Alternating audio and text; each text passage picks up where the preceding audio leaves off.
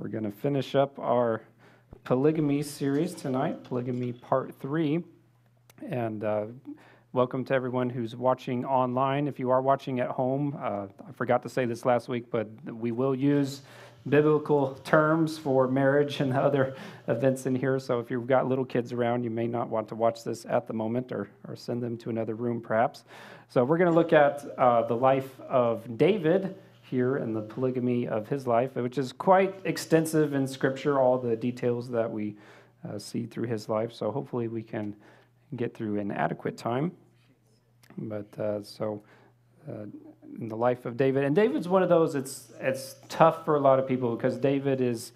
In some ways, one of the most spiritual men in Scripture, obviously, aside from Jesus. He's very spiritual. He's the man after God's own heart, as the, the word describes him. But yet we just see in the marriage arena, he seems to have failure after failure, and of course his adultery with Bathsheba that we'll look at there. So what you know, what gives? Or, or does God give David a pass? Does David get a pass? Is God inconsistent, blessing David with all these wives and this immoral lifestyle while you know, allowing him still to be king and, and the effects of that. So, as we looked at last time, uh, Abraham, Jacob, all the ones who did commit polygamy, they didn't, God didn't strike them dead right away, but they did pay the consequences. The seeds they sowed came back, and they did pay for it in time. So, uh, that's the same that we'll see with David and uh, the regrets that he would have with this. So, uh, we see David starts out well. He, he starts out um, marrying pretty high up as far as social status. He marries Saul's daughter. Michal, is his very first wife. So this is uh, 1 Samuel chapter 18. This is right after David has killed Goliath. Uh, it's uh, chapter 18, verse 20. Now Michal, Saul's daughter, loved David, and they told Saul, and the thing pleased him. So Saul said, I will give her to him that she may be a snare to him and that the hand of the Philistines may be against him. Therefore Saul said to David a second time, You shall be my son in law today. So Saul was actually trying to manipulate David. Uh, David, he's probably still quite young at this point. Of he, uh, he, we don't know exactly how old he was when he fought Goliath, but he's got three older brothers who are in the military, and you had to be 20 to serve in the military. So his three older brothers, and then he's got three brothers older than him who aren't old enough to serve in the military. So at the oldest, David could be 15, at the oldest, really. I mean, he probably maybe was even a little younger when he faced Goliath. And so uh, this is at the most maybe a, a, year or two, or possibly three after that. Uh, David and Jonathan become close friends. David becomes the armor bearer for Saul and uh, Saul's right hand man when Saul goes into battle. And uh, David is the um, the most popular of all the young men there in the kingdom, naturally. He's killed Goliath. All the girls are singing about him. Uh, Saul's killed his thousands. David's killed his ten thousands. So he's the uh, he's the heartthrob there for he's the boy band of, of, what all the girls want to want to follow him. They all want to be his girlfriend, and so uh, Michal, even though she's Saul's daughter, she's the princess, but she falls along with the, lo- the rest of the girls, and she wants to marry him. She actually loves him, and so Saul, he's like, oh, I, I got a plan. I can I can manipulate him. So Saul, he's got this scheme where David he can go out and oh, if you kill 100 Philistines that will be the dowry. You don't you don't have to pay any money or any kind of bride price in order to marry into my family. That you just you kill these Philistines and then I'll let you marry into the royal family. So he's hoping David will get killed. He will go out in battle, expose himself too much, and he'll get killed. But David goes out and actually kills I think 200 Philistines, and uh, then comes back to Saul and is able to uh, marry Michal. So that's an interesting. Um, interesting payment in order to get your wife uh, there, but that's uh, what goes on. So Michal uh, helps David eventually as the as the years go on. When David and Saul begin to have tension because Saul senses the spirit of God has left him and has gone to David, and Saul is jealous and throwing spears at David all the time. And so there comes a point where they have to part ways, and David is hiding back at his house, and Saul sends guards to come arrest him, and David, um, Michal helps David escape. So she chooses David over her own father. She helps David get out, and she acts, disguises a, a, statue, or I can't remember what it was, in the bed, and, and the soldiers. Uh, he, he's able to get some time and get ahead of the soldiers and get away Um, but then poor Michal, um, Saul, daughters of kings were in a very precarious place because they were bargaining chips in your relationships with all the other countries around you. So if you wanted to make peace with this country, if you're a king, you send one of your daughters to go marry the prince or marry the king of that country. so it, it was tough being a princess for sure. And so the um, so Saul's like, well, you know, David's on the run. He's going to be on the run for about eight years.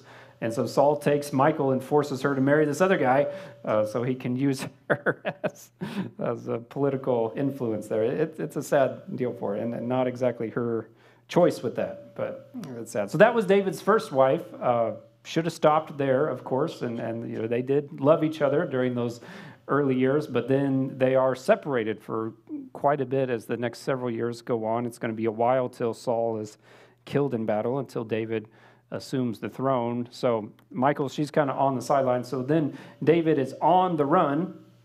He's on the run from Saul, and he, um, you know, you get lonely. So you get get some more wives while you're while you're on the run. So he brings in two more wives uh, there while he's fleeing from Saul, uh, goes to this town and this town and hides in various places. So he adds uh, two more, Abigail and uh, Ahinoam. I think he actually added Ahinoam first and Abigail. And Abigail, that's one of those of so often um, is talked about, uh, oh, one of the great love stories of the Bible, David and Abigail, right up there with Boaz and Ruth and the other love stories in the Bible. And it, you know, it's a nice chapter, and I remember uh, being in Bible college, and, and there, were, there were two kinds of people in Bible college. There were the people who were dating and seriously engaged, and then there were the single people, which uh, I graduated single from Bible college. Katie and I, Katie and I didn't meet. She was still in high school, so it was kind of, we couldn't get married in college. But um, anyway, so I was always with the single people, and we'd always have guest speakers come in, and they would always uh, just kind of rub it in of like, well, I just want to preach to you college students of how great marriage is and how much you're going to enjoy being married. Well, that, that's great for the engaged people over here, but for the single people, it's like a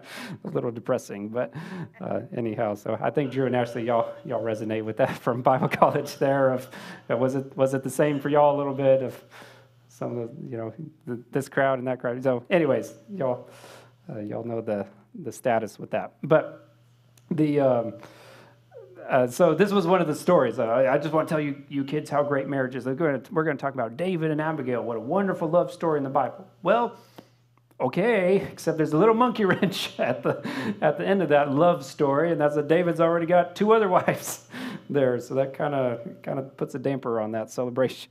So, uh, yeah. So there's this guy.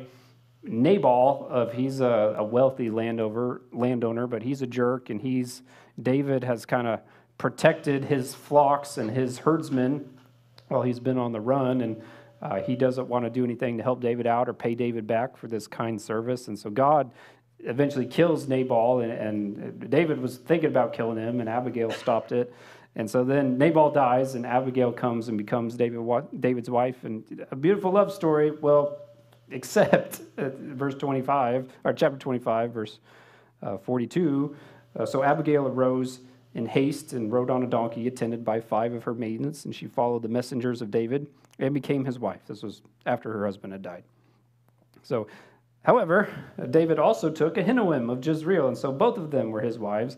Uh, but Saul had given Michal, his daughter, David's wife, his first wife, uh, to Palti, the son of Laish, who was from Galim. So uh, there's he's at wife number three by now, even though number one is sidelined for several years. so yeah, it, it's a it's a mess of a situation there. Um, and so and and it is interesting as we'll look at this. Abigail, um, she was a legitimate widow. Nabal had died, but she's always called the wife of Nabal, even after she marries David. I, I think that's kind of odd, uh, what the scripture uh, puts in there. So. Um, yeah, just a lot of. Uh, now, Michal, she's going to come back. Uh, I'm not going to show every verse because there's a lot of chapters on the life of David. But uh, when um, when David finally becomes king, Saul dies, David becomes king, and there's war between David and the last of Saul's surviving sons. There's war for a while, and the, the son really isn't the ruler. It's David, or it's Saul's uncle Abner is the the power behind the throne. So it's Abner versus David, and they're fighting Abner and Saul's last son, they get into a spat over a woman. And so Abner decides to make peace with David. And um, David says, Well, hey, if you're really serious about peace, how about you give back Michal, give back my first wife to me? And so, the, so Abner goes, Uncle Abner shows up, Hey, Michal, leave your your husband you've had the last eight years and go back to your first husband over there. And so they do that, and it's just like uh, it's a it's a Jerry Springer episode essentially is what what we have with this. So Michal, she does reunite with David's household, but when David brings the Ark of the Covenant back to Jerusalem after uh, he moves the capital to Jerusalem, brings the ark back, and Uzzah dies, and because they do it the wrong way. But when they finally get it there, David he's celebrating and he's praising God, and, and it talks that he he dances with the ephod. Not entirely sure what that means. Is it like a marching band or, or what it happens? But but Michal, she's she had grown up in the royal palace, and she is appalled that David would do something so beneath the office of a king, that he would worship and display himself so flamboyantly like that in his worship of the Lord. And so she, she despises him, and with that disagreement, uh, they kind of they stay married, but they're they separate physically, and she has no children for the rest of her life. And probably, um, you know, probably part of God's plan with that, uh, you know of Saul when Saul had committed disobedience and God had, had taken the kingdom away from Saul. It wouldn't have been necessarily right for the Messiah to come from the line of Saul because Michal is Saul's daughter. So probably God's able to use those things, but it, it's still a mess of a, of a situation for sure. It's, not, it's no fun to get replaced as a spouse, uh, especially while you're still alive. It's, it's, one thing after you're dead, but while you're still alive, that's, uh, that's a bad situation. So uh, one hint that we have in Scripture as to perhaps why David behaves this way is he, he has an improper view of marriage, as did the majority of people back at this time of history. There were some people that there was good marriages of Ruth and Boaz and Isaac and Rebecca, but uh, but there's some that um, uh, for the majority of it, women were property and women were just traded like cattle, essentially, in a, a, sad situation. And, and like I said two weeks ago, Jesus, the teachings of Jesus in Christianity and good men rising up and standing to stop evil men has done more to lift women throughout history than, than anything else. Um, but we see David has a wrong view of love. And we get this when Saul is killed in battle, and not just Saul, but David's best friend Jonathan and all of Saul's sons, except for the very youngest, are killed in this battle as well. And so when Saul is mourning Jonathan, he writes this song in uh, remembrance of them. And he says in 2 Samuel chapter 1, verse 24, it says, O daughters of Israel, weep over Saul, who clothed you in scarlet with luxury, who put ornaments of gold on your apparel. How the mighty have fallen in the midst of the battle. Jonathan was slain in your high places. I am distressed for you, my brother Jonathan. You have been very pleasant to me. Your love to me was wonderful, surpassing the love of women. So that's a, that's a line David writes in his song, his, his funeral song that he writes for Saul and Jonathan. And that's a, that's a little strange that, that my love for you was greater than the love that I have for women. Now, there's some atheist groups and homosexual groups that try to make this like some kind of bromance homosexual relationship between Jonathan and David, which is that's not the case at all, certainly. But what this is, David, it's you know David and Jonathan. That was a great friendship. But David's problem is he doesn't have the right attitude toward his wife. you know, how can you have a greater love? Um, how can you love women the right way when it's spread among so many? That's the problem of uh, you know, as uh, you know, any kind of uh, movie or, or, things that try to um, you try to portray men who who have relationships with many many women. It's like, well, you know, some men they, they just can't. They have so much love, they just can't uh, contain it with just one woman. They just have to share that love. No, that's not that's not the case. No matter you know whether you know Cary Grant or who you know whoever characters they try to put in those roles, that it doesn't work out in reality that way. Hollywood can try to manipulate it as if it does, but it does not. And so David's problem is he doesn't have the right view of women. He doesn't have the right view of marriage, the right way that love is supposed to be. And you know, and I got um, I got my guy friends in life. You know, my best friends from growing up, and my buddies from high school that we'd play video games together and goof around together. And yeah, they're, they're fun to be with, and we had a close relationship. But that's nothing compared to my relationship with my wife. I mean, you know, we're we're raising children together. We know so much more about each other.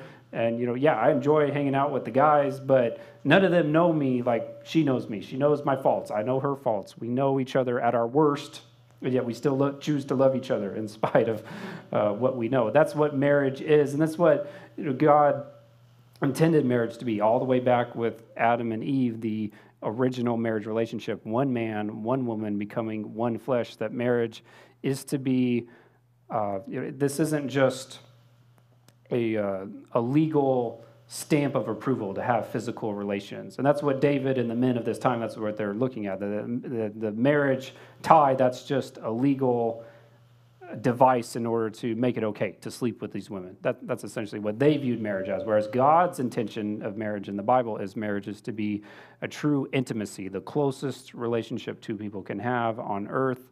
Uh, it's the uh, it's a spiritual connection, a physical connection. It's the way God intends children to be brought into the world. That's what God's blessings to be in marriage, and that's why God chooses marriage to be the parallel of Christ's relationship with the church and the bride of Christ. And, and, there's only one bride, and there's only one Jesus. Jesus doesn't have multiple brides.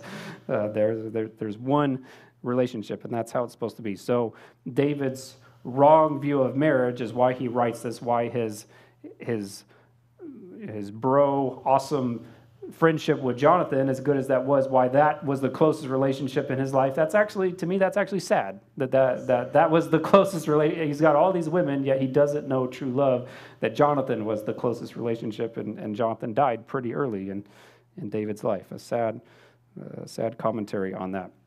But we do see also. Um, got three. Why stop there? Pump, keep running the numbers up. So we got wives four, five, six, and seven. Uh, so Saul dies, and David is in. Um, he's in the town of Hebron, is where he sets up the capital for when he's king over just his own tribe, over the tribe of Judah, while he's still at war with the rest of Saul's descendants that are still alive. So he, he's uh, king of Judah in Hebron for seven, seven and a half years, at war with Saul's descendants, and then. Uh, when the rest of Saul's descendants either surrender or are killed, then the kingdom is united and David becomes king over all 12 tribes, over all of Israel, and he moves the capital to Jerusalem. However, so while he's in Hebron, now he's settled down. So he, he just had, uh, Michal had been sent with her second husband, so he just had Abigail and Ahinoam with him while he's on the run to all these different caves and places he was hiding from Saul. So then when he settles down in Hebron, gotta, gotta expand, gotta grow the family. So uh, verse 2. This is one of those passages in the Bible. It's just like, what? What, what on earth? So, uh, 2 Samuel chapter 3, verse 2. Sons were born to David in Hebron. His first was Amnon by Ahinoam, the Jezreelites. Okay, so he was already married to her. So there's one. His second son by Chileab by Abigail, the widow of Nabal the Carmelite. So, yeah, so there's so he was already married to her. Those are the ones he had on the run. However, his next son, his third son, Absalom, the son of Maacah, daughter of Talmai, king of Geshur. Okay, so that's a that's a new wife with another son. Continues on with the um, verse four. The fourth son, Adonijah, the son of Haggith. The fifth son of Shephatiah, the son of Abital, and the sixth son, Ithream, by David's wife Eglah. These were born to David in Hebron. So it's like you got six sons by six different women that's going to be a problem. Now, when they were little kids all together, it didn't seem like that big a deal. And it seemed like, hey, you know, the Playboy Mansion works for, it's good to be king. You got all these perks, and, and I'm going to live that way and get away with that for a little while. A little while. But when those boys get older and it comes time to who's going to sit on daddy's throne when daddy gets old, they're all half brothers and they all hate each other's guts. And that's what's going to come to pass. It's a, it's a terrible, so it, it seemed, seemed like he could get away with it for a little while, but only when they're little. When they get older, it's going to devastate the next generation. And he does not stop there. So, uh, chapter 5, verse 13. So, after Saul's last son, Abner, all them are dead. David moves the capital to Jerusalem, uh, reunites the all 12 tribes, a new capital, takes it from the Jebusites, so a, a new center of government. We get a fresh start. So, bigger house, bigger palace, more room, more room. So, verse 13 David took more concubines and wives from Jerusalem after he had come from Hebron also had more sons and daughters were born to David. So, yeah. Um, uh, and so the concubines, that's what, like we talked about last time with Abraham, the concubines are just essentially slave wives. They have no, they're not able to bear heirs. They're not considered legitimate. They're just there for sexual pleasure. For, and it, it's like, is there, you know, surely there's a limit to some of this. I mean, obviously, if you've got eight wives, why do you need, and he has 10 concubines on top of that? It's like, you know, really, really, it's, it's like the, uh, you know, economists, dietitians, they talk about the law of diminishing returns of like, you know, one, one ice cream sandwich is pretty good. Your 15th ice cream sandwich is, is not going to be that great. And that's, surely there's a limit. no, your first wife is great. Your 10th wife is, you know, does she give as much joy as the as number one did or number two did? I don't think so. But anyhow, it's uh, it's crazy. Um, and so again, this is why in Deuteronomy with Moses, uh, God specifically says there, as we looked at two weeks ago, kings are not supposed to do this. It's very tempting. Kings, they're the only ones with the influence, the legal authority, the riches in order to do this and to multiply wives. And it's very tempting to do that. And, and God said, don't, don't do it and we're going to see why. So, uh, in the book of Chronicles, uh, First Chronicles, all those, those long lists of names that a lot of people typically skip when they read the Bible, uh, toward the end of that, it lists David's family um, and the wives there. Uh, uh, so, in that genealogy, David has listed in that he has 19 sons and one legitimate daughter from the legitimate wives. And then on top of that, he has um, all the concubines. He has sons and daughters, an unnamed, uh, an ungiven number with that, and, and none, you know, at least 10 concubines are mentioned. So he's got, before Bathsheba, he's got at least nine wives. Possibly more, and 10 concubines before even Bathsheba happens, and then 19 legitimate children plus a daughter from that. Ah, yeah, so it, you know, it, it seems like uh, you know he's he's living the Hugh Hefner life. This is Playboy Mansion. It's great for a little while, a while, and then the the trouble's going to start. So, of course, y'all know uh, David and Bathsheba. That's the main stain on uh, David's life, his sin, and really the problem.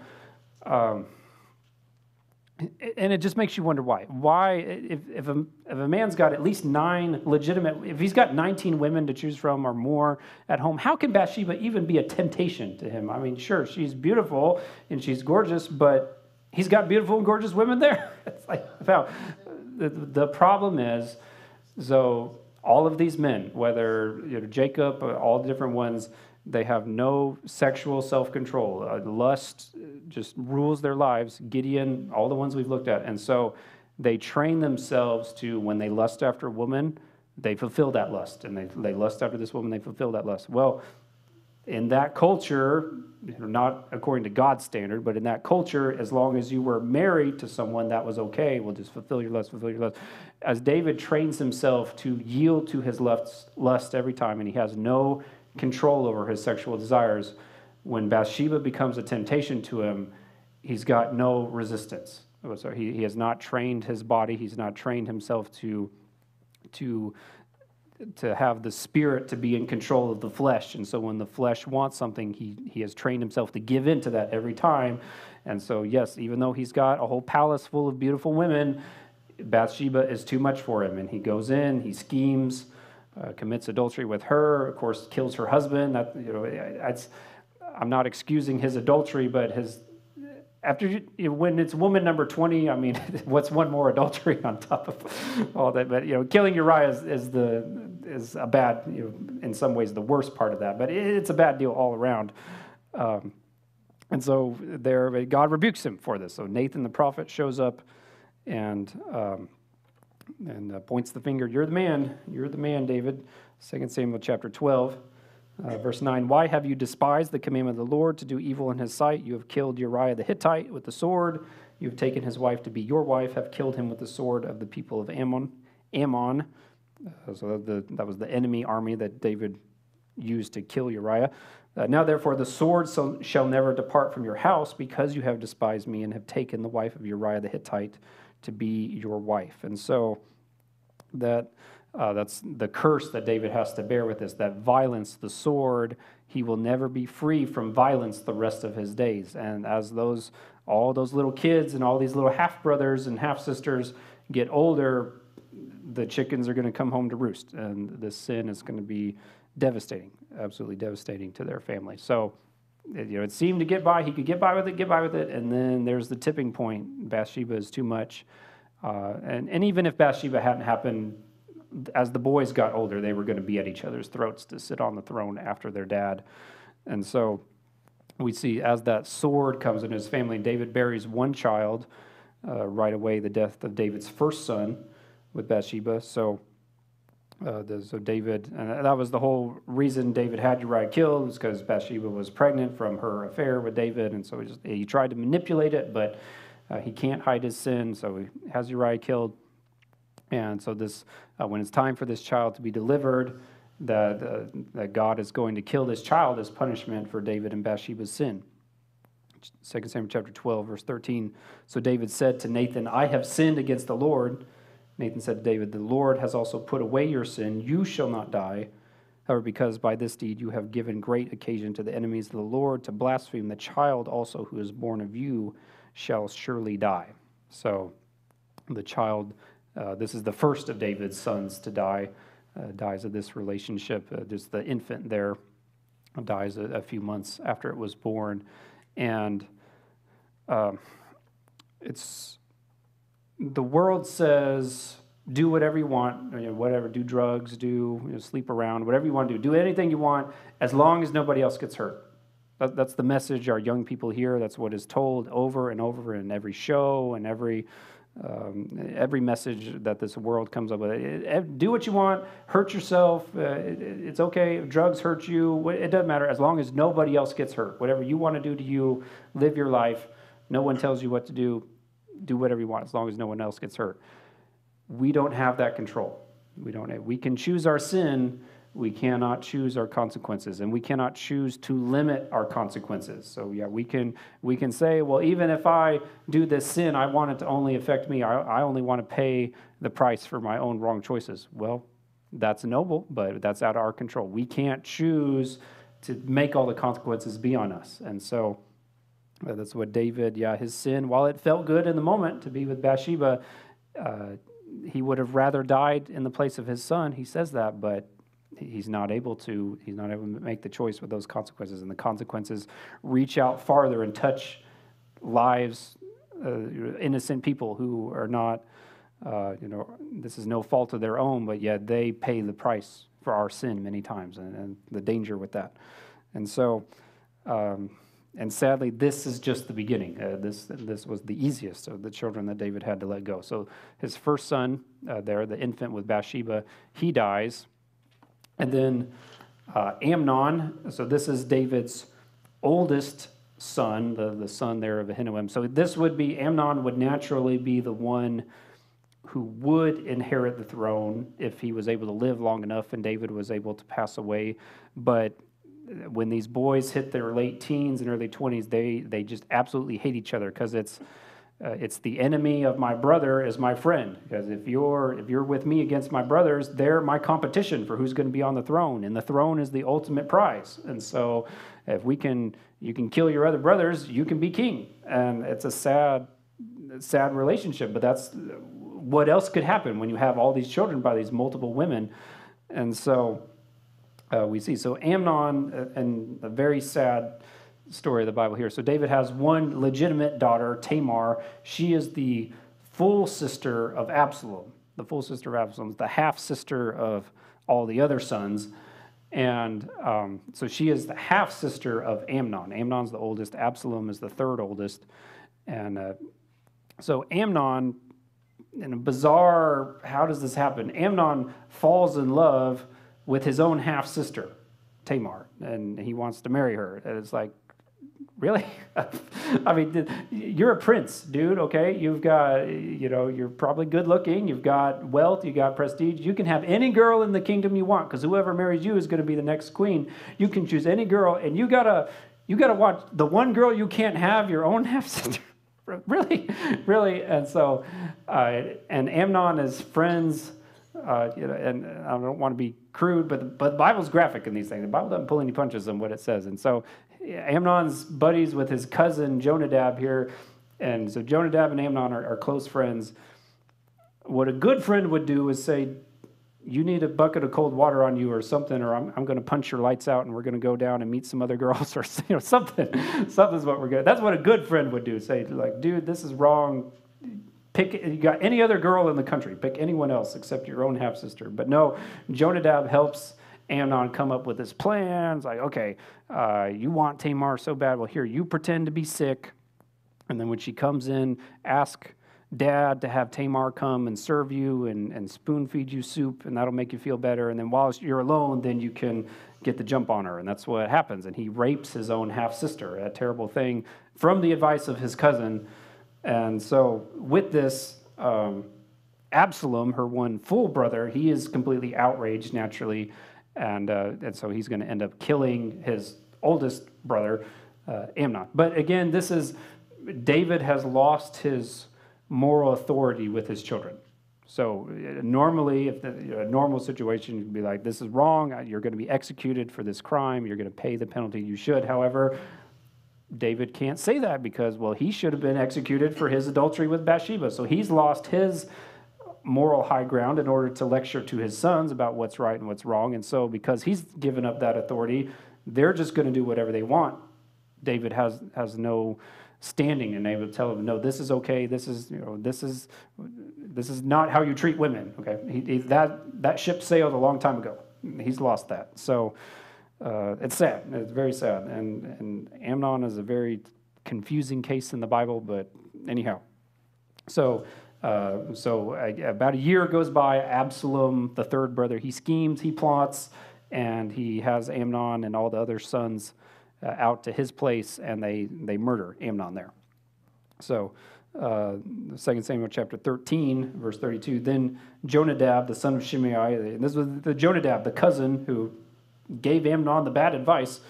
Uh, Jonadab, the son of Shimei, David's brother, answered, said, Let my, my lord suppose they have killed all the young men, the king's sons, for only Amnon is dead, for by the command of Absalom this has been determined from the day that he forced his sister Tamar. So, craziness uh, there. But uh, so there, there's son number two. You know, so David's committed this adultery. Son number one with Bathsheba dies. Son number two, shortly after that, Amnon, he dies. So the oldest is out of the way. Who's going to take the place? Who's going to be the next son who's going to be in line for the throne? Well, we don't really have any, uh, scripture doesn't give us any detail on David's second oldest son, uh, but it, it jumps down to the third son, Absalom. So Absalom decides, well, I want to be king, so I'm going to be in the throne. I'm going to get rid of my other brothers as well, eliminate the competition. And so Absalom, uh, because of his murder of Amnon, he flees for a while and is away for a couple years to let his dad cool off and, and the country kind of forget what happened. He slips back in and he begins to manipulate the people and draw the loyalty of the people toward himself and away from his father David and to where uh, eventually it gets to the point where he declares open rebellion against David, and he decides to uh, to chase his father out of town. He he leads an army, and they come into Jerusalem, and David. Uh, as men, they were not able to prepare defenses, so they have to flee from Jerusalem and run away. And so Absalom comes in and he seizes the capital city there of Jerusalem. And as if things weren't bad enough in the family of David, what happens is that um, Absalom's advisors they tell him, "Well, Absalom, the people are kind of wary of like you've declared war against your father. Do you have the guts to actually go through with it? Do you have the guts to kill your own father if the opportunity presented itself?" And so they tell him, Absalom, to prove you've got the guts, that you're man enough to kill your own dad, here's what you need to do. You need to take the 10 concubines, the 10 slave wives that David has in the palace, and you need to rape them all in front of the public is what you need. And, and one of the most despicable graphic things in the Bible, 2 Samuel chapter 16, verse 22, says, So they pitched a tent for Absalom on the top of the house, and Absalom went in to his father's concubines in the sight of all of Israel. So in public does this shameful act to show how much he hates and how much he despises his father. And again, uh, you got to feel sorry for these women. They're just, you know, they're just little pawns and checker pieces in this game, this political game that's being played here. And so, uh, so he does that, and then he comes out and he, uh, his army fights against David's army, and uh, but he gets caught. His long hair gets gets caught up there in the tree.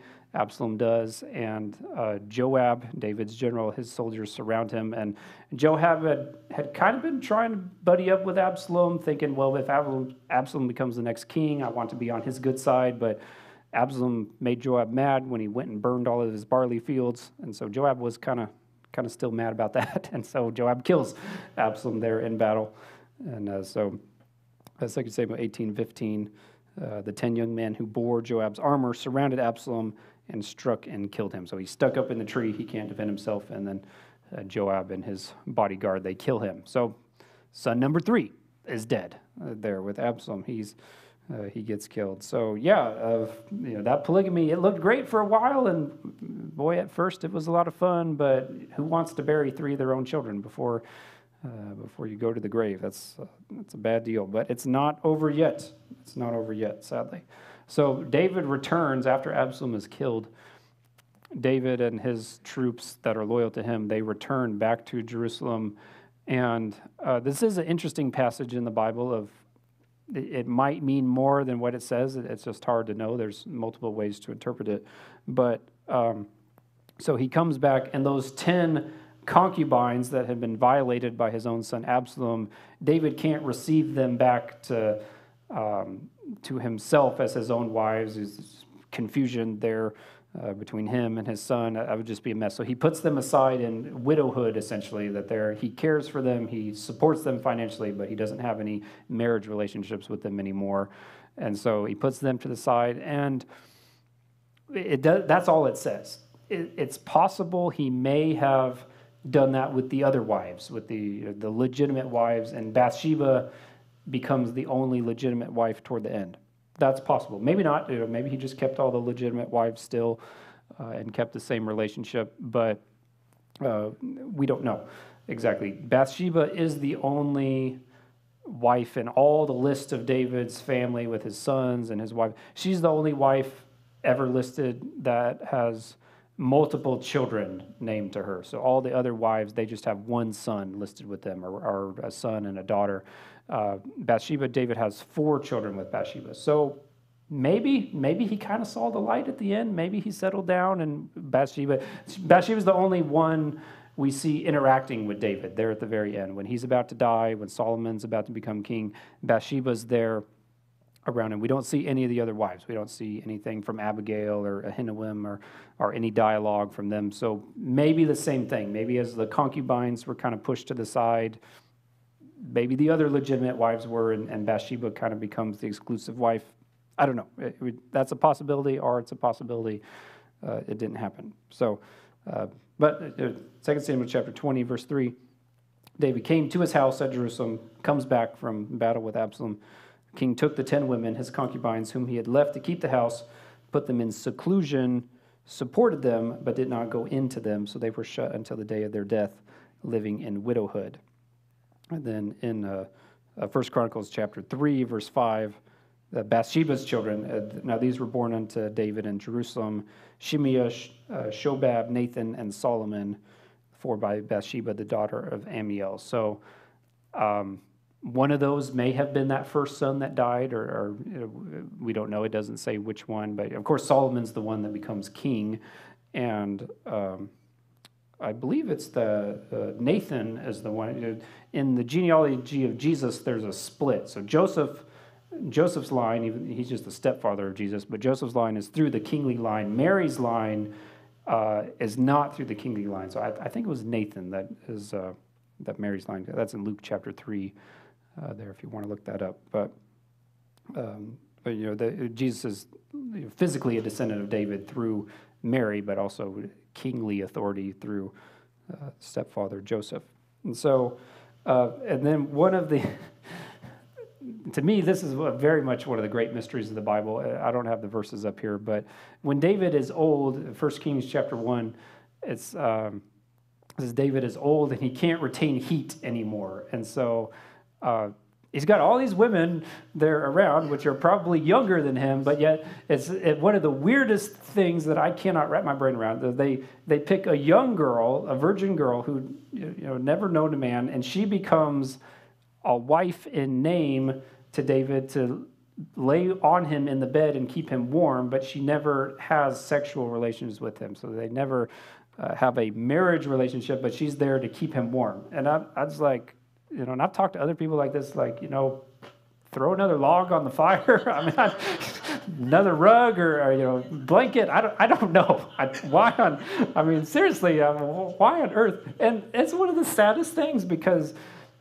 she's considered a wife of David, but she's never able to, to have a marriage relationship. And then David died. This is at the very end of his life. He dies and then she's not allowed to marry anybody. She's got to be you know, a young girl and got to spend her whole life as a as a widow essentially. It's like what a terrible kind of and and it's, it was very odd. Uh, last time I was reading through this portion of the Bible was um, so David is is old and, losing. Uh, you know, he's getting out of touch with the kingdom. His memory's slipping. Just old age is creeping up on him, and so um, his sons are, are kind of doing what they want. So he, David has said Solomon's the legitimate heir. Solomon's to be the next king. Well, as we'll look at in just a second, Adonijah, the next oldest son, Adonijah, he wants to be king instead of Solomon. So there's a bit of conflict with that. And so Bathsheba has to come in to David and confirm Bathsheba and, and the prophet Nathan, like, okay, David, you need to publicly declare Solomon is the king. If you don't do that, we're going to have another civil war. And um, so Bathsheba walks in, and David's laying there in the bed, and Abishag's on top of him when Bathsheba comes in. I imagine that was a very awkward, awkward glance between those two of uh, Bathsheba's relationship with Abishag. But whatever, whatever. They're better women than uh, than many, uh, I guess, for not strangling each other at the, at the moment. But anyhow, so First Kings chapter one, verse five it's uh, it's not all that you know. People are like, man, it'd be awesome to be in a palace and be a princess or something. it's not all it's cracked up to be. uh, it's kind of a risky place in the royal palace. So uh, Adonijah dies. Now he David dies right before Adonijah dies, but it, it, they're pretty close together. So uh, very shortly after David's death is his fourth son Adonijah buried. So uh, 1 Kings chapter one verse five. Uh, then Adonijah the son of Haggith exalted himself, saying, I will be king, prepared for himself chariots and horsemen and fifty men to run before him. It says, And his father had not rebuked him at any time, saying, Why have you done so?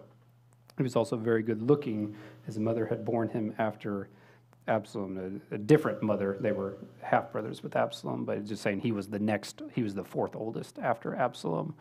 And so it's a weird that verse, verse six, is so odd in David's character of um, not good parenting advice. Uh, David, Absalom, and Adonijah are the more handsome, the more good looking of all of his sons.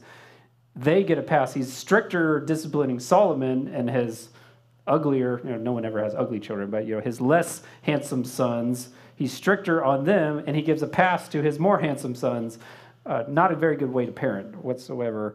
And uh, but yeah, that's what it. No, no rebuke. I had never at any time rebuked him, saying, "Why have you done so?" No discipline, completely out of control. Just do whatever you want. And so, um, and that's very sad. Adonijah just lives his life. I'm going to do what I want, and so he tries to take the throne, just like his brother Absalom had a few years before. And so, when David publicly declares Solomon as king uh, Solomon, Adonijah comes, begs for forgiveness. Solomon has mercy on him. However, our sad, tragic Abishag is going to come back into the play. Of um, so Adonijah is going to try to slip, throw a curveball to Solomon as, as soon as Solomon becomes king. As soon as they're done mourning for David after his death, Adonijah goes to Bathsheba and asks Bathsheba to ask Solomon. So he's trying to cover his tracks, and he wants to marry Abishag. Now, on the surface, to us, that seems perfectly legitimate. Like, well, you know, I mean, the poor girl, she never got to, um, you know, she never got to be married. She had to keep David warm, and what a kind of a weird thing. You know, why shouldn't she be allowed to marry someone? And if Adonijah wants to marry her, uh, you know, why not let that be? And yet Solomon, he has Adonijah killed for this. And to us, I was like, what? What? Yeah, is that a little extreme? What's that seems a bit odd there, but in it's so weird to us, but you know, this is a different culture than what we know in America. So in Bible times, when one king would take the place of another king, he gets everything. He gets the palace, he gets the throne, he gets all the authority, and including with that, you get the wives of the previous king. So if you're Genghis Khan and you conquer the known world of, of Mongolia and Russia, you, all the kings you kill, their wives become your wives. And, and you, you know, you just add and keep adding and keep adding. And that's the same even in the land of Israel. So technically, uh, Abishag and David's wives that were still living become Solomon's wives. And so uh, Adonijah, by wanting to marry Abishag, while that seems to us in our Western American thinking as, as you know, what's the big deal? He's trying to make a play like, oh, see, I I have a right to be king because I married the last wife of the king. So you know, I, this is my claim to the throne. Adonijah is trying to do a side door to get back to the throne. And so Solomon's like, I gave you a chance. I forgave you once. Not making that mistake again. So he, he has his own brother killed, half brother. And uh, so, so Adonijah dies. Uh, 1 Kings chapter 2, verse 24. So now, therefore, as the Lord lives, who has confirmed me and set me on the throne of David, my father, who has established a house for me as he promised, Adonijah shall be put to death today. So King Solomon sent by the hand of Benaiah, the son of Jehoiada, and he struck him down, and he died. Sad. So, uh, so there was a four. So David buries three sons in his own lifetime, and then a fourth son goes right after him. So, if David could stand in front of us today, would he say polygamy was worth it? No, no, of course not. who wants to bury their own children, much less three of them plus another one die right after you. He would say, No, don't do it. I, I made a mistake. Yes, he was a very spiritual man and, and he wrote Psalms and, and was very enthusiastic for the Lord, but yet this was a weakness, as many, you know, Samson and, and so many others. The strong man in the Bible, he gets snared with women. The spiritual man of the, of the Bible, he gets snared with women. Solomon, the wise man of the Bible, he gets snared with women. So um, we see uh, David, he would say, Don't do it. And don't do it. Yeah, it was fun for a little while, fun in the moment, but the consequences that catches up to you, catches up for sure. And, uh, and by the time, by the time David's grandchildren, by the time Rehoboam, the next uh, Solomon's son, takes the throne, David's family is going to be away from the Lord, and Rehoboam is going to be turning to idols. So, in just because of David's sin and polygamy, Solomon's faith was weaker than David's faith, and Rehoboam has no faith. This is what the, the seeds that come with that, a very sad legacy that comes. So, uh, terrible, terrible from the results of it. Uh, and then, so let's look quickly at Solomon. There's a large number, though not near as much detail uh, with this. And so, it's like you would think if anyone in the Bible had the the opportunity to see the mistakes of the previous generation and to learn from those mistakes. Like, okay, my dad, he was great guy and loved God and he did this right, did this right, this right, but this was his main stumbling point. That's the one thing I need to avoid.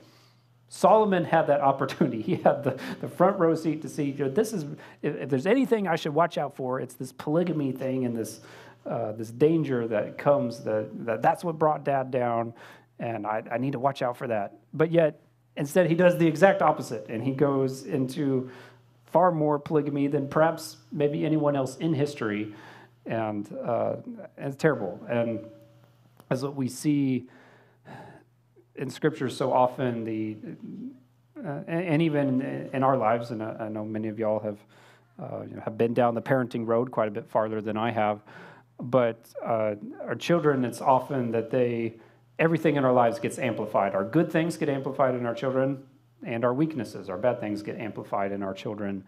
And uh, that's why I had you. Know, David is, is good. Some of that gets amplified in Solomon, but his weaknesses certainly get amplified in Solomon. And David, that continual yielding to lust and saying yes to lust every time that it comes up, uh, he's, he has no right to, you know, no way to to shape Solomon and train him in it. train, how can you train him to say no when, when you don't even know how to say no yourself?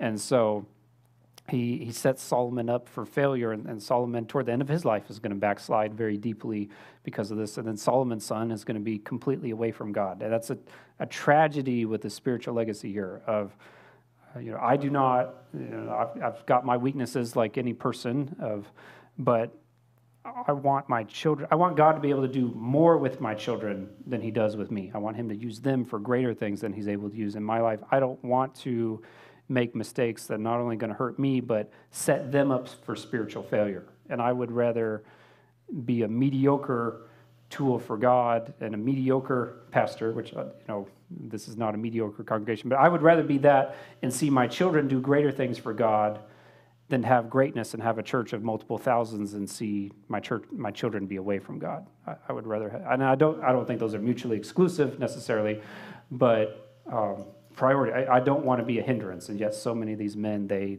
they set their children up for disaster. So uh, look at this quickly here. First Kings chapter 11, uh, verse 1. Uh, so it was listing all of Solomon's great things. He's got all this gold coming in every year, and palaces, and an ivory throne, and you know, uh, inflation. So silver's worth nothing because everything's made out of gold. So if you put your money in silver during Solomon's time, you lost everything because silver was like rocks. Uh, so that's how rich the kingdom was. But 1 Kings 11, verse 1, but King Solomon loved. That's a weird thing. The Bible says that he loved, you know, just like David loved Jonathan. Solomon have that love, but when it's spread beyond a thousand women, I mean, how, can, how much can you really love each one? Not all that much. Uh, King Solomon loved many foreign women, as well as the daughter of Pharaoh, women of the Moabites, the Ammonites, Edomites, Sidonians, the Hittites, from the nations of whom the Lord had said, to the children of Israel, You shall not intermarry with them, nor they with you. So you know, the, the, Bible puts these. Uh, these little parentheses in there for a reason. Say, you know, Solomon did this, but God had specifically said, "Don't do this." But all the way back in David's life, there when you know, when it says, "Oh, he married Abigail and he married Ahinoam," it also says at the end there, "Oh, by the way, David was still married to his first wife Michal. She just had been given away." It, it, there's a reason the Bible puts that there that David should not have married Abigail, should not have married Ahinoam. Yeah, maybe maybe in some ways Abigail was a better wife for him, but but but the, the fact that he already had a wife means she wasn't. And so, yeah, if he'd have never married Michal, Maybe, but he was already, so that doesn't count. And so the same thing here. God had said, Don't do this, because they will turn away your hearts after their gods. But Solomon clung to these in love, so it's a bad deal. 11, chapter 11, verse 3. Solomon, he had 700 wives. You know, and this is what you know, my title is too much of a good thing. I mean, marriage is an awesome thing. I, I would rather any, to me, often the worst day being married is the best, better than the best day being single. At least in my my personal experience, I, am I'm, I'm for marriage, and I, uh, he who finds a wife finds a good thing. Amen. I, I say amen to that. However, you know there is too much of a good thing. Seven hundred is too much of a of a good thing. So, there, so he had seven hundred wives, princesses.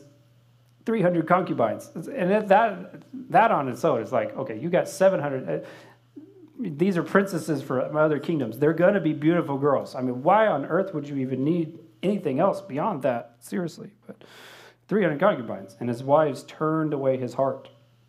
And so now, the, some guys try to explain some of these things away. Of, um, I mean, how can you even? That's a different woman every night for three years. Uh, mathematically, it's like really, really. And, um, you know, and now these are princesses from other kingdoms. Now, Solomon, because of God's blessings of David, David wins victory after victory. He beats the tar out of the Philistines, he beats the Ammonites and the Syrian, everyone that fights against David. David stomps them into pieces. And so Israel kind of becomes, for just a little while under David's reign and under Solomon's reign, sort of the superpower of that part of the world. And uh, so they're, they're more powerful than Egypt, they're more powerful than the Hittites and, and the Babylonians aren't a power yet. So they're the superpower at the moment. Everybody wants to be friends with them. Israel's got the strongest army for this brief period. Everyone wants to, to be on their good side. And so the way in Bible times that you made a peace treaty or an alliance with them is that you sent a couple wives. You sent a, a couple your daughters, a couple princesses over, and that you know in our we're so it's so weird to us because we you know Today, when two countries sit down and make a trade agreement, you got this president or prime minister and he's got his pen and he signs this over here and you know and this the other one from the other country he signs it and it's agreed and it's ratified and it's it's sealed. So well they didn't use pens and signatures they used wives it's like well here i'm going to send this girl to make sure you keep keep your end of the bargain and keep the peace treaty. And so um, i kind of like our method a little bit better than that but i mean you know still uh, but and so it's, there's a very real possibility that Solomon may never have slept with a big chunk of these women. I mean, he may have just like, oh, the ambassador from this kingdom comes. He wants to trade with us. He wants to make peace with us, uh, and he sends, you know, five wives as a as a gift, as well as a bunch of gold and other things. So I mean, Solomon may be like, okay, just just add them within all the others.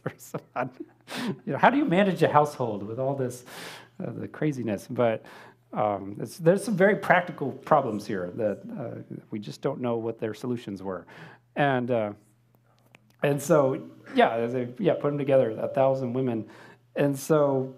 Uh, but yeah, so that, that could be the case that he may not have ever. I mean, he may have spoken to a big chunk of these. They may have just been like, okay, you know, just send them there. But still, that this brings away his heart to where he backslides.